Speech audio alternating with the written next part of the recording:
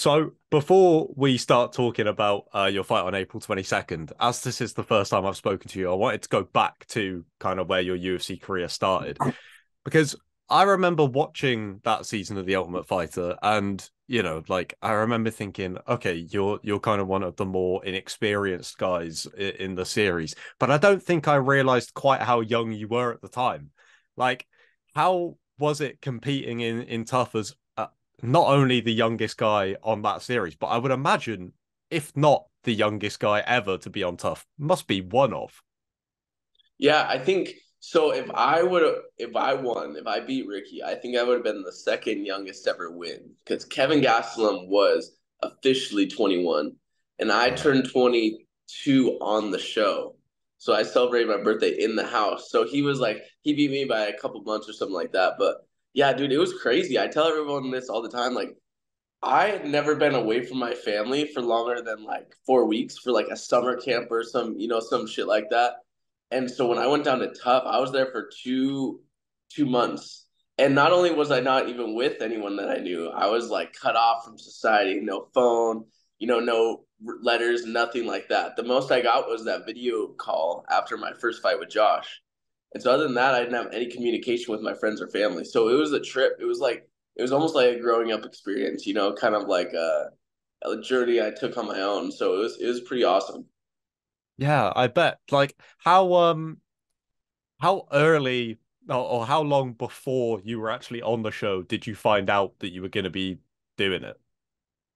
You know, they actually I I wasn't like it wasn't for sure anything, but they had sent the applications out all the way back in like December or some something like that.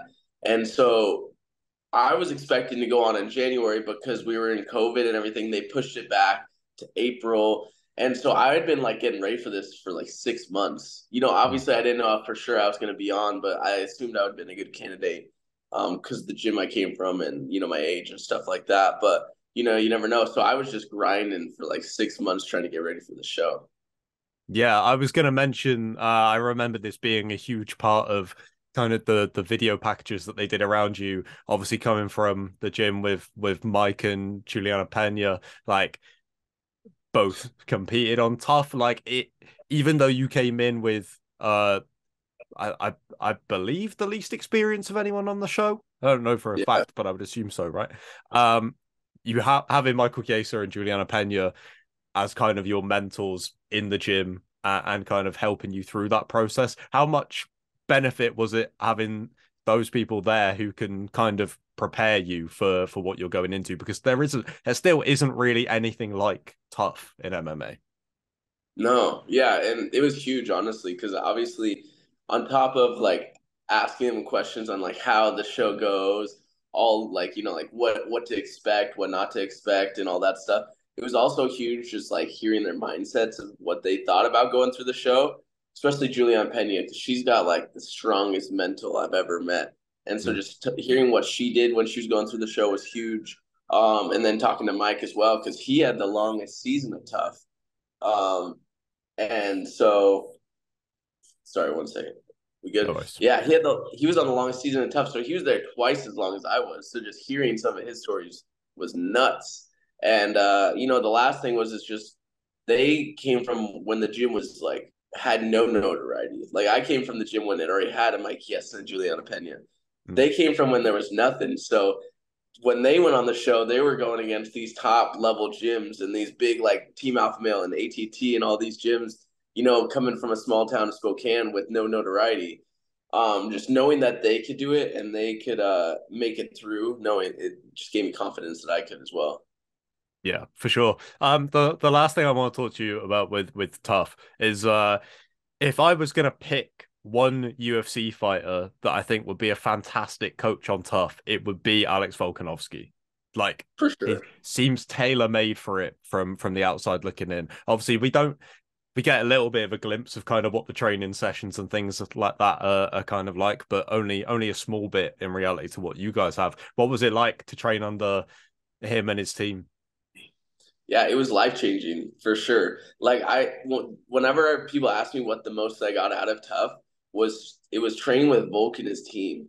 You know, the way that they are such a championship team, like the way that they all work together, they're like all best buds. They all give each other shit. They all have fun together, but they all like work and uh, are there to help you. Like Volk would do like a two hour training session for by himself because he was getting ready for Ortega.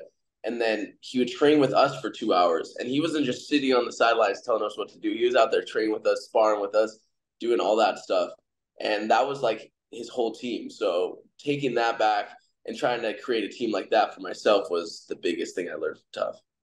Mm. I I can't even imagine how much that experience has helped going forward. And it seemed like the the TUF kind of process was invaluable for you for the the first actual fight in the in the UFC obviously apart from the the Ricky fight because I know that kind of counts as well right but um yeah I've watched the fight with Garcia back yesterday. Uh, in my mind, I'd completely forgotten about the start of the first round. So I just remember it being like quite a grinding fight, and, and your grappling it is very, very good.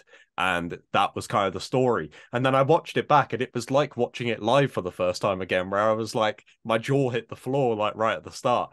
So battling back from that adversity, how how much do you put that down to? to experience and having those mentors around you, like Chiesa, Julianna Pena, obviously training with Volk?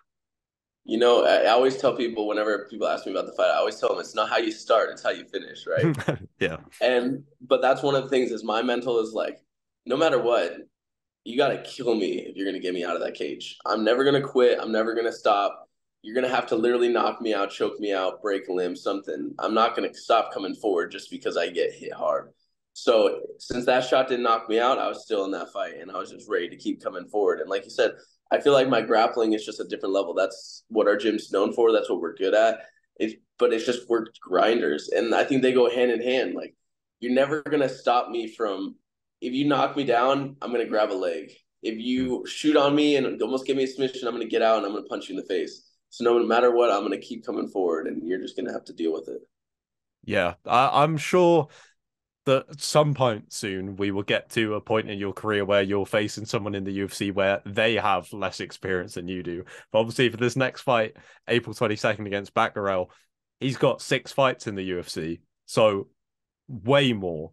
But again, when I look at the fact that you've had Pena and Chiesa right there with you this whole time, the TUF experience training with Volk, that adversity in the last fight that you had to, to battle through and I'm sure you learned a lot uh, in that fight.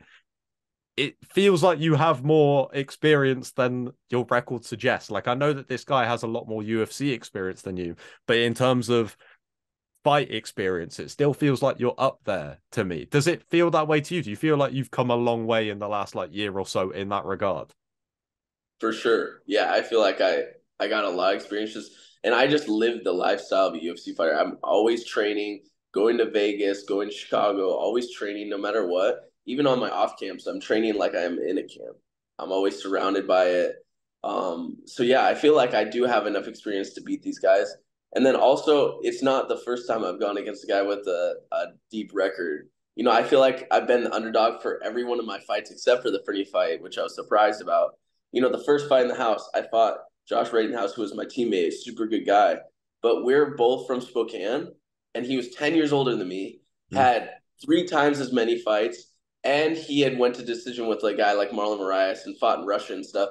And so going in that fight, everyone in the house was like, "Oh, Brady's about to lose. Damn, that sucks." You know, Josh is about to win, and I won that fight. Going on to the Vince fight, he's from uh, American Top or uh, Team Alpha Male, the mm. best uh, team for 135ers, you know, 145ers in the UFC. And they're like, "Oh, Brady's about to get knocked out. He Vince just had a knockout. Brady just had a war.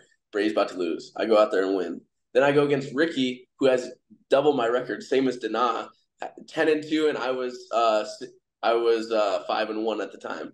And so going in that fight, they're like, "Oh, he's from Team Alpha Male. Ricky's gonna starch him." Blah blah blah, all this stuff. And I went to a split decision, which I think well, I won. So just going, you know, going into this fight, I'll probably be the underdog, which I'm used to and it's just going against a guy with more experience. But that doesn't matter. He's ten years older than me again, twice my record, but I'm ready to go. Yeah, for sure, man. I I'm not gonna mention it because I've heard you talk about it in uh in previous interviews, but I just wanted to to end this by saying I hope that we get to see that Ricky rematch at some point down the line. Maybe when you guys are, are further in on your careers, bit higher up the rankings, things like that. But I think that that would be a, a no brainer to run back at some point. I'd love to see that. Just as a as a fan of that series, I think that would be cool to get another chapter of that. You know, for sure. I'm I'm I'm all in for exciting fights, and uh, you know, like they compared our fight to Stephan Bonnar and fucking Forrest Griffin's finale fight. So that was an honor in itself. I'm ready to run that back, and honestly, I feel like my my levels are just gonna be so much higher. So I'm excited to go and uh, rewrite that history. For sure, man. Uh, thank you so much for your time, mate. Uh, all the best for April 22nd. And I I keep forgetting that here in the UK it's afternoon, but it's really early for you. So enjoy the rest of your day. And uh, and yeah, I'll hopefully catch up with you at some point in the future, mate. Thank you, brother. I'll talk to you later. Cool. Thank you. Cheers, mate.